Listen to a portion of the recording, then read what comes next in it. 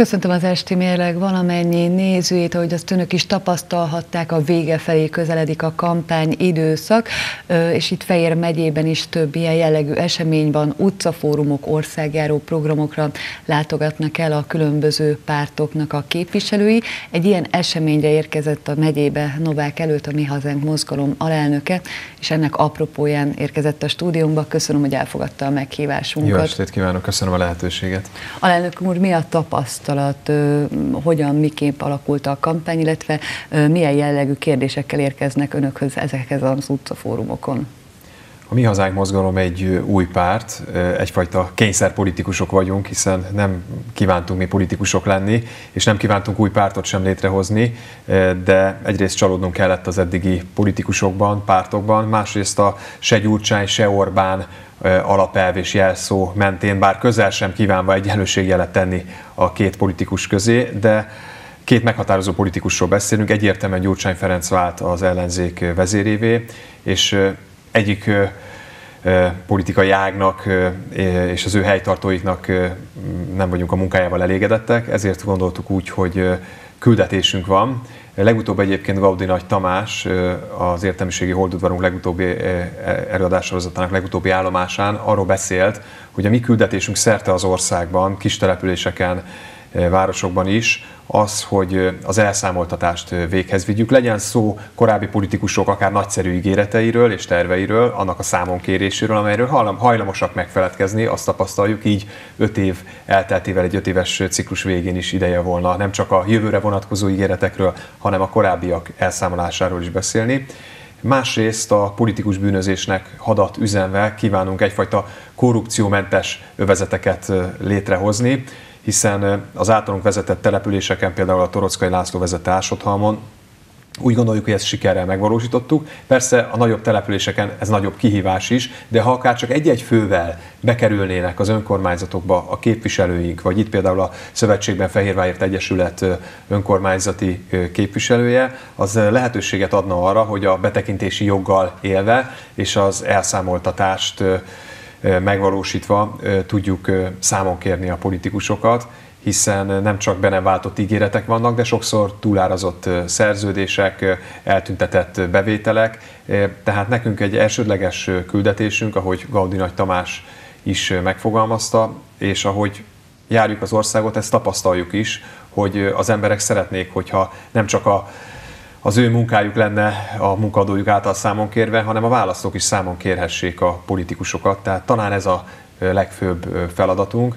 És itt Székesfehérváron is úgy szálltunk be a küzdelembe, két képviselő jelöltünk is indul a Szövetségben Fehérvárért Egyesület színeiben, ahogy a miépnek is indulnak, és több más helyi lokálpatrióta Székesfehérvári is indul a Szövetségben Fehérvárért Egyesület színeiben, ugyanis itt összpontosult egy olyan erő, amely úgy érezzük, hogy egyrészt esélyesen bejuthat az önkormányzatba, hiszen minden választókerületben tudott képviselőjelöltet állítani, sőt, Tancságnes személyében polgármester jelöltet is.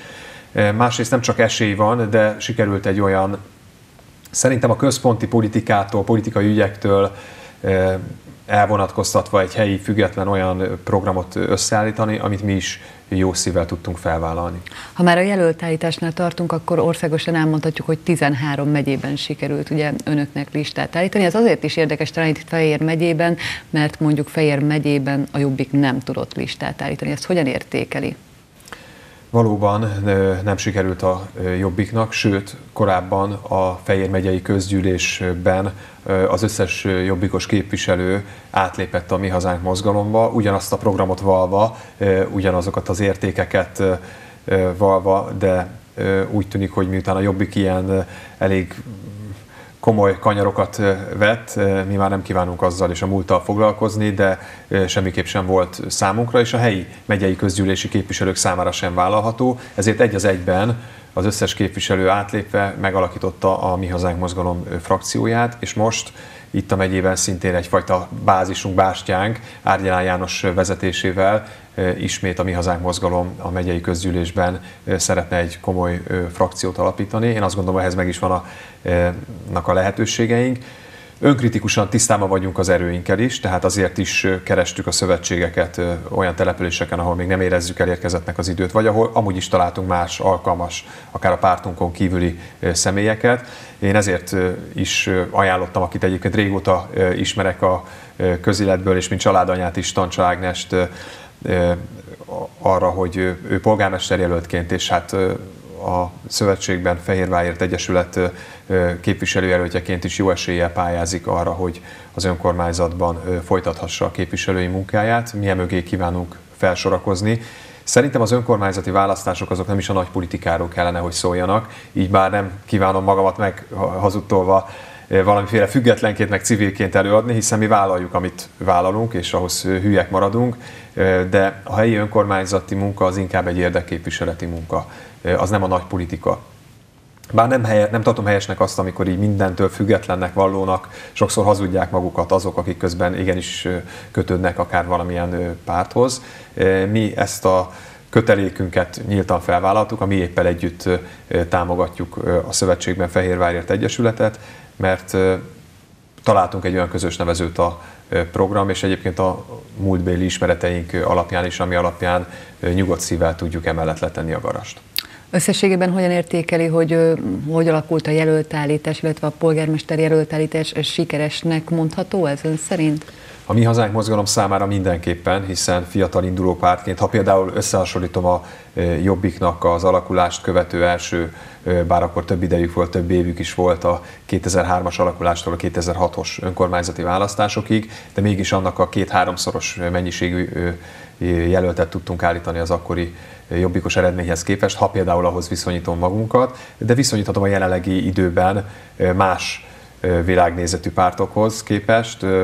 Az LMP és a Momentumnak együtt sincs annyi jelöltje a Nemzeti Választási Bizottság adatai szerint, mint a Mi Hazánk mozgalomnak de önmagában Mi Hazánk mozgalom megelőzi a DK-t, önmagában megelőzi az MSZP-t, tehát olyan állami támogatással rendelkező pártokat előz meg, amelyeknek frakciója is van a parlamentben, tehát lépés előnyben vannak, ismertebb a nevük is.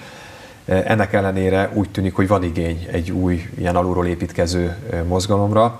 Már nekünk nincs még állami támogatásunk, oligarchánk pedig nem is lesz, úgyhogy mi alulról szerveződve folytatjuk ilyen csináld magad mozgalomként a kampányt. Itt is volt alkalma megtekinteni például a Szövetségben Fehérvárért Egyesület, mint szövetségesünknek az utánfutós házilag készített kampányeszközét, amely azt mondom, hogy sokkal jobb ízű kampány, amikor mi az utcára menve, standolva, az emberekkel kezet fogva beszélgetünk, találkozunk. Most épp a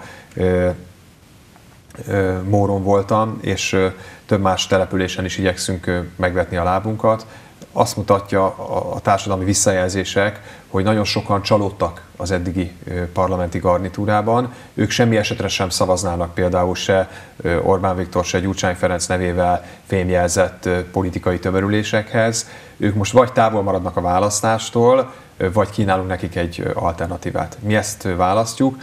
Az európai parlamenti választásokon már országszerte 3,3%-os eredményt elértünk, mondjuk ezt jelentősen lehúzta a budapesti eredmény, tehát vidéken ennél magasabb eredményünk volt. Most az a kérdés, hogy úgymond az 5%-os küszöböt elérve sikerül-e kiegészíteni, és a választók úgy döntenek, hogy azt a hajszányit még hozzátéve kiegészítik 5%-ra, és bejutunk a, általában a testületekbe akár csak egy-egy fővel, akár a mérleg nyelveként, akár a betekintési joggal élve, a testület lelkiismereteként, kényes kérdések feltevőjeként mindenképpen szerepünk lehet.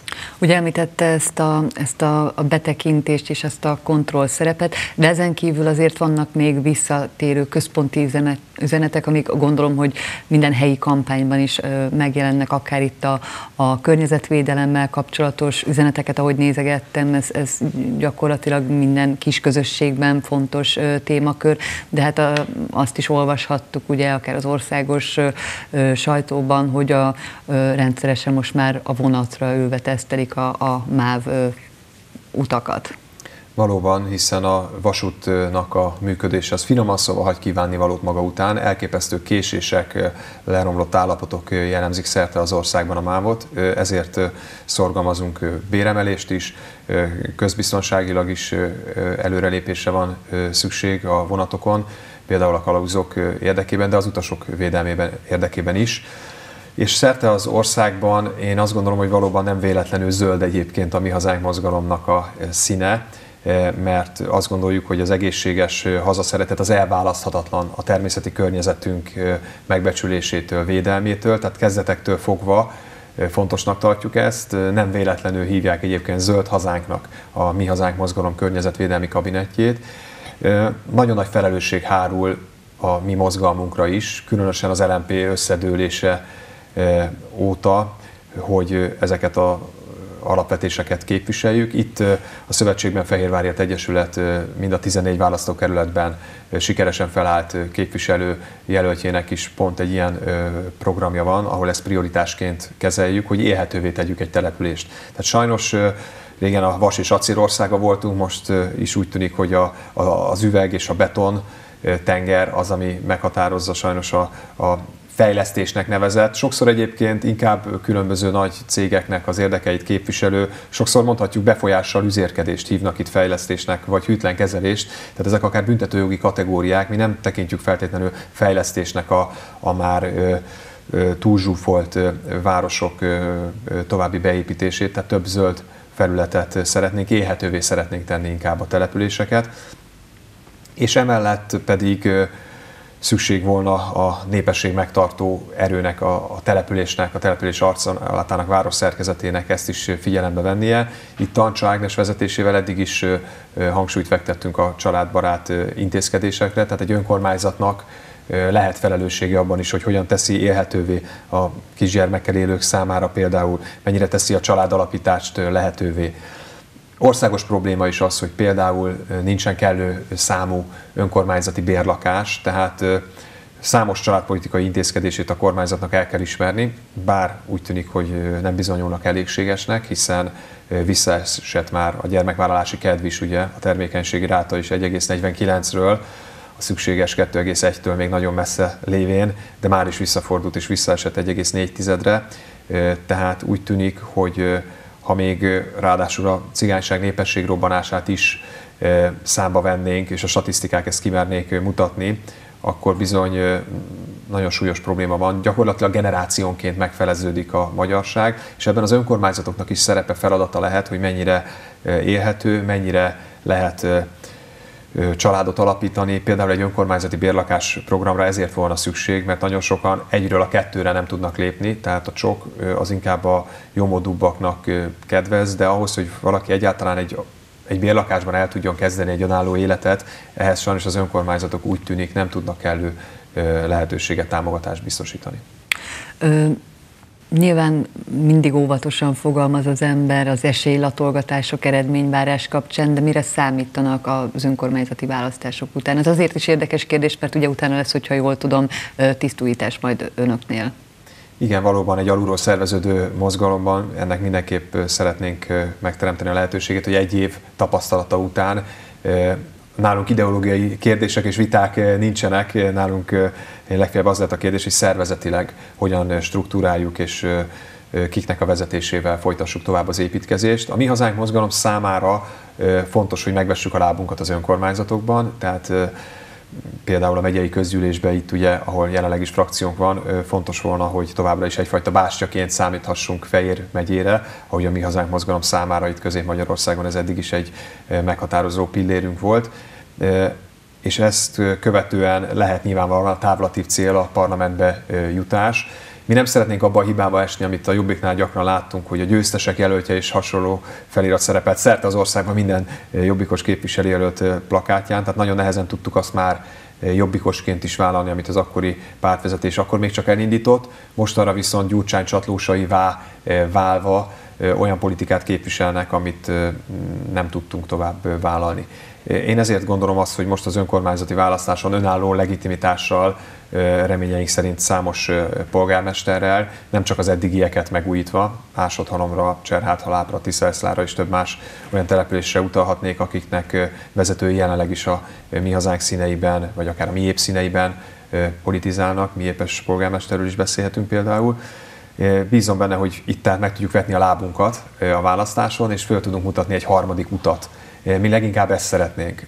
Tehát ahogy itt a szövetségben a Fehérvárért Egyesülettel is sikerült egy olyan megállapodásra jutni, hogy a helyi érdekek figyelembevételével egy, egy helyi számunkra is vállalható programot, de nem egyfajta kisgömböcként próbáljuk bekebelezni az összes civil szervezetet, sokkal inkább, ha tudjuk, hogy kettőt hátra kell lépni, mert ez a választás most inkább másról szól, akkor erre is képesek vagyunk, de országosan mindenképp meg kell vessük a lábunkat. Van igény egy olyan politikára, amit se Gyurcsány, se Orbán nevével nem lehet fémjelezni, és ezeket a csalódott választókat szeretnénk megszólítani. És gondolom azokat, akik ö, egy időben még a Jobbiknak a bástyáját jelentették, akár itt Fejérben is, erről korábban Árgyánál János pártigazgató is nyilatkozott nekünk. Igen, hát ő maga is ugye székesfehérvári lakos, és a megyei közgyűlésben ugyanazt az eszmeiséget, ugyanazt a konstruktív ellenzékiséget képviseli, mint amit jobbikosként, de az országos politika, a Gyurcsány Ferenc csatlósaival való vállás elfogadhatatlansága vezetett oda, hogy mi új útra léptünk, de ez már a múlt, most már reális győzelmi esélyekkel is készülünk szerte az országban különböző választásokon. Itt Székesfehérváron azt gondolom, hogy a legfontosabb, hogy a 14 képviselőjelölt, aki a szövetségben a Fehérvárért Egyesület színeiben indul, az megkapja azokat a szavazatokat, amelyen ha esetleg egyéniben nem is feltétlenül tudnak még nyerni, de töredék szavazatként a rájuk, mint egyéni képviselőjelöltekre adott szavazatok hasznosulhatnak, és így nem mondjuk Gyurcsány Ferenc helytartója, vagy helytartói fogják ezt a mandátumot, vagy mandátumokat, listás mandátumokat megkapni, hanem e, ennek az Egyesületnek a színeiben nyerhet például Tancsa Ágnes ismét mandátumot. Köszönöm szépen, hogy elfogadta a meghívásunkat. Köszönöm a lehetőséget. Nézőinknek pedig köszönöm a figyelmet, esti mérleggel természetesen holnap is jelentkezünk itt a Fehérvár Televízióban. Viszontlátásra!